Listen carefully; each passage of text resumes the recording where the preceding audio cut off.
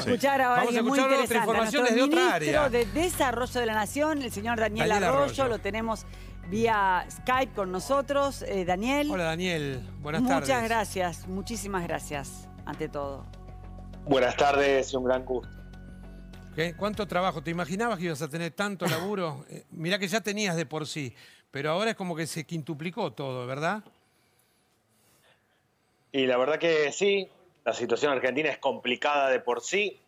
Tenemos 40% de trabajo informal, una Sí. parte importante de la Argentina que tiene un problema de hambre, un montón de gente que vive de changas. Eso era lo habitual y empezamos a trabajar para atender el problema del hambre, para empezar a mover el trabajo de los barrios.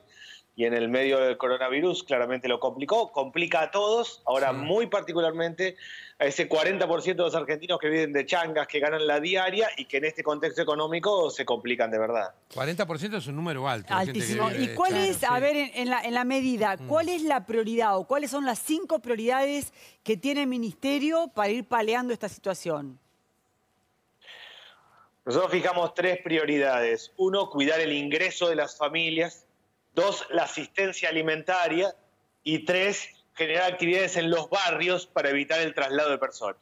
Cuidar el ingreso, estamos hablando de, de una población que vive al día, que vive de changa, fue el bono a los jubilados, Sí, el bono a las personas que tienen asignación universal por hijo, el bono para las personas que tienen planes sociales y algo muy importante y es los 8 millones de personas que tomaron crédito con el ANSES durante el mes de abril y de mayo no van a tener que pagar la cuota. Eso fue una manera de atender De los ingresos pelota, de una claro. Sí, sí, población sí. que se está quedando sin ingresos. Ministro, los Después bonos... segunda parte. Sí. Sí. sí, sí, lo escuchamos. La segunda, No, hay una segunda parte que es lo alimentario. Y ahí lo que hicimos fue reforzar los comedores, los merenderos y los comedores escolares. Armamos un sistema de viandas sí. que en hay 8 millones de personas que reciben asistencia alimentaria en Argentina, Todos 3 los días. millones y medio que están en las escuelas, chicos que están en las escuelas, el resto en distintos tipos de comedores, fuimos al sistema de viandas, de módulos alimentarios, para que las personas puedan comer en su casa, tener los alimentos para comer en su casa. Y lo tercero, ¿Y es de lunes que a muy lunes eso? ¿Cómo? ¿Es de lunes a lunes la asistencia de viandas para esta gente? Hoy se está haciendo así en la práctica, de lunes a lunes, los comedores y los merenderos están abiertos. Claro. Normalmente no, pero hoy se está haciendo de esa manera. Sí. Y lo tercero importante es que las personas que viven en situación de pobreza, el aislamiento social, la cuarentena es distinta. Una cosa es alguien de clase media que se queda en su casa Sí. para pasar la cuarentena y otra cosa es una vivienda donde hay cinco personas que están en un dormitorio. Entonces estamos buscando un mecanismo para generar actividades en los barrios que tiene que ver con un pequeño banco de materiales para arreglos de la casa, arreglos menores en la claro. escuela, en el club, para mover la economía del barrio. Esas tres cosas, cuidar los ingresos, fortalecer la asistencia alimentaria y lo que tiene que ver con la actividad en los barrios es la clave en este contexto tan difícil para tanta gente que venía mal y esto la complica mucho más. Ministro, eh, ¿cómo se va a cobrar esos bonos? ¿Se va a acreditar a partir de qué fecha? Los bonos que tienen que ver con la asignación universal por hijo, esta, la semana, que- esta semana que va a comenzar ahora, lo mismo las personas que eh, tienen planes sociales que van a cobrar 3 mil pesos, el bono de las personas que tienen planes sociales, 3 mil 100 pesos por hijo, lo que es la asignación universal por hijo. Lo que es el, el pago de jubilaciones se agrega al, pa- al pago de jubilación, en la fecha que tienen que cobrar las personas que están jubiladas. Para que los abuelos entiendan, no tienen que ir al banco. No tienen que ir No, al bueno, cajero y no es- tienen que hacer la fe de ¿Cómo no? ¿El vida. cajero tampoco? ¿Y cómo sacan su plata? Claro, lo que se llama la, la fe de vida, que es cada tres meses que tiene que ir, eso ya no usar la tarjeta, se ha sí. extendido todo, claro. directamente retiran la- de- por el cajero el dinero Ah. o los que pueden se manejan con home banking directamente. Lo que tenemos que hacer es que se traslade la menor cantidad de gente posible, sobre todo los mayores. Esto de quedarse en la casa no es una recomendación, es una regla que todos tienen que cumplir. Es una regla que hay que cumplir. Los cajeros, obviamente, me imagino que, vos decías que no, no, no moverse, pero para sacar plata de los cajeros. No, hay costumbres banking. en algunos abuelos que el día de la jubilación quieren ir al cajero y retirar claro. toda la jubilación. Exacto, Entonces la recomendación es no ir al cajero el día que se acredita. En tal Ajá. caso ir si se necesita efectivo o mandar a algún familiar, Sí. pero desterrar esa costumbre que el día de la jubilación van todos todos los abuelos van claro. todos juntos al, Sí, al tal banco. Es que los jubilados en general cobran los viernes y uno ve la- la cola que hay Sí. habitualmente en los bancos. Bueno, tenemos que cambiar esa lógica. Todos tenemos que cambiar la lógica. Nosotros en los comedores siempre tenemos la lógica de que haya mucha gente, porque así se generan redes, porque hay apoyo escolar, otras cuestiones. Bueno, acá tenemos que hacerlo al revés, ir espaciando a las personas, que las personas claramente lo que hagan es recibir la vianda o directamente el módulo alimentario. Ministro- Lo mismo con la tarjeta alimentaria. Nosotros tenemos 1.100.000 personas que reciben la tarjeta alimentaria en la Argentina, 400.000 que no llegamos a poder entregarla por esta situación. En esos casos, esos 400.000 personas lo cargamos en la asignación universal por hijo para que nadie pierda esto, que es un refuerzo nutricional, que se carga el tercer viernes de cada mes, que se cargó ayer como tercer viernes del mes. Es clarísimo lo que decía el ministro. Yo preguntaba esto, ya habla- que hablamos de tarjeta y todo eso, para no movernos tanto, ni en los bancos que están cerrados. Hoy, por ejemplo, en lo particular, capaz que no es tu área esta pe- específicamente, pero fui a tres supermercados chinos, ninguno de los tres me aceptó la tarjeta de débito. ¿No hay una ley que regula que hay que aceptar la tarjeta de débito como pago en efectivo también? Porque todo esto que usted está diciendo va por, va- entra por el cajero automático y entra en la tarjeta de débito de mi vieja, de mi viejo mío, y uno va a comprar con, sin la plata porque a lo mejor no tuviste la posibilidad de ir. ¿No es ley y que te cobren con, con tarjeta de débito y crédito hoy en día?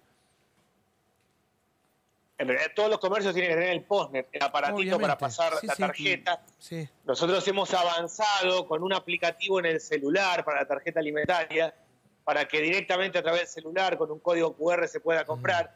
En este contexto no, no lo estamos poniendo en marcha por esta situación tan crítica, pero claramente lo que tenemos que lograr es el menor movimiento de gente posible, generar mecanismos para que Claro. solo se trasladen las personas que lo necesitan imperiosamente. Yo saqué una resolución anoche con el tema de, de- de los padres separados, donde hay chicos Sí. con padres separados. Ahí la regla es que los niños se queden con la persona donde comenzó la cuarentena, con el padre o la madre, Claro. excepto dos situaciones. En el caso que uno de los padres esté afectado en un servicio esencial, porque trabaja en la alimentación, porque trabaja en la salud, Mm. ahí sí tiene que bajarse un formulario, está en argentina.gov.ar, Ministerio de Desarrollo Social, y con el propio documento del hijo o de la hija, Sí. puede moverse a llevar el niño a la pareja, o en el caso que haya que trasladarse por un caso de problema de salud, que el chico tenga que estar con uno de los padres por una atención de salud. Son las únicas dos cuestiones. Nosotros lo que tenemos que encarar es un mecanismo donde la transmisión se da por la cantidad de gente que funciona en la calle. Si logramos evitar el, traslado en la calle, si logramos evitar, lograr la cuarentena y evitar el movimiento en la calle, tenemos chance. Hemos encarado políticas antes. Yo veo que los países como Francia, como Italia, como España, llegaron al pico de sus casos y recién ahí suspendieron las clases. Nosotros suspendimos las clases antes, Por hicimos la suerte, sí. cuarentena antes. Para que esto funcione, todos tenemos que cumplirlo. El formulario para, por ejemplo, un adulto que tiene que asistir a eh, sus padres, su abuelo, para asistir a un mayor en el caso de que necesiten, por ejemplo, algo de la farmacia y demás, ¿se debe imprimir y está también en esa misma página web? No, el formulario del que yo hablo es en el caso de los padres separados que se trasladan con un Ajá. chico, que andan en el auto Sí. un chico para llevarlo Exacto. de un lado a otro para y ver a en la- este otro caso, en cuando, cuando hay familiares que tienen que asistir a mayores, Sí. ¿qué permiso necesitan para transitar? no necesitan permiso. Hay un punto que se llama eh, casos de fuerza mayor. Si un hijo tiene que ir porque hay un problema de salud de su padre o tiene que ir a la farmacia, en caso de fuerza mayor ahí no necesitan permiso. Se había planteado, lo que yo estoy planteando es el permiso que se baja o se puede anotar a mano directamente cuando alguien está transitando con un chico de un lugar a otro. Ah. Y siempre estamos hablando de casos excepcionales. La regla es que todos estén en su casa, que logramos evitar la transmisión del virus como se ha dado en países como Italia. como Francia. Ministro, ¿están evaluando eh, para los monotributistas, para la gente que trabaja por el cuenta propista?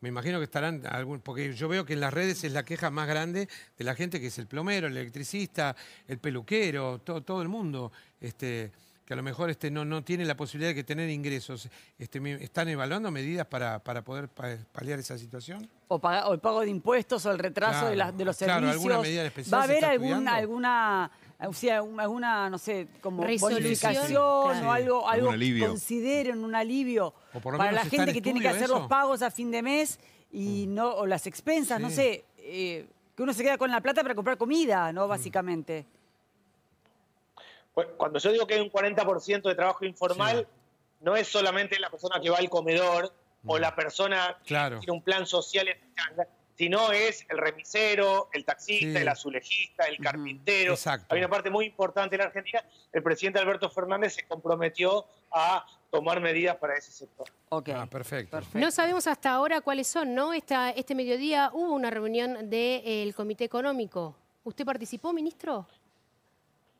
Sí, nosotros en el Comité Económico y Social estamos monitoreando siempre la situación económica y social permanentemente. Eso es lo que hacemos siempre en cada reunión, monitorear cómo está la situación, cómo sobre todo se da la situación en los barrios. Por eso hacemos un seguimiento permanente. De verdad no es lo mismo el aislamiento en clase media, en los sectores medios, que en los sectores más pobres. Por eso le damos mucha, Mucha importancia Sí, al tema de las actividades en los barrios Sí. y de este cambio que estamos haciendo en los comedores y en los merenderos para que haya viandas, para que haya alimentos, lo llamamos módulos alimentarios en las casas. Y también para que no haya es- desabastecimiento en lo que es el Claro, claro, supermercado, en lo que sean lo las básico. estaciones de servicio también. Están encima de eso también, ¿no? Me imagino. Sí, claro. Bueno, las recomendaciones no solo Remedios son para también. las personas para no transitar, sino para los comercios también, Mm. el tema de los precios máximos, Total. el tema de establecer un criterio, eso no son recomendaciones, son reglas. La regla que tienen que cumplir todos los ciudadanos es estar en cuarentena, el aislamiento social para eh, evitar que se propague el virus. La regla que tienen que cumplir los comercios es plantear y realmente cumplir con los precios máximos y mucha responsabilidad social en un contexto tan complicado, donde hay tanta gente que la pasa mal, donde muchísima gente vive de la diaria y la tiene Sí. difícil o tiene Claro. problemas Sí, de- sí, sí, para sí, alimentarse. Por eso hay 8 millones de personas que reciben asistencia alimentaria. En este contexto todos tenemos que ayudar, los comercios tienen que ayudar especialmente. Daniel, ¿está, ¿está previsto si esto tiene que extenderse un poco más, algún tipo de medidas? ¿Cómo? Porque uno no deja de angustiarse a futuro, ¿no? Decís, bueno, Sí. ¿cuánto tiempo más vamos a vivir esta situación? Como nadie lo sabe, decimos, bueno, hasta acá me va a alcanzar, todos más menos, tenemos fechas, Sí, uno un poco más, uno un poco menos. Vencimientos, Eh, todo. ¿qué- ¿Hay algo pensado en eso? ¿Nos podría adelantar algo? No, yo solo tengo que dar las medidas que vamos tomando de manera con información precisa. Mi tarea como ministro es esto, dar información precisa de lo que vamos encarando. Ujú. Eh, vamos monitoreando todo el tiempo la situación de verdad, de los precios, de los barrios, de la problemática general, haciendo un seguimiento sobre todo en lo que tiene que ver con los centros de atención de salud. Yo estuve hoy en un parador con la ministra de Desarrollo Social de la provincia de la ciudad de Buenos Aires, donde hay una situación más complicada aún de la que estamos hablando, que son las personas que viven en la calle, las familias en la calle.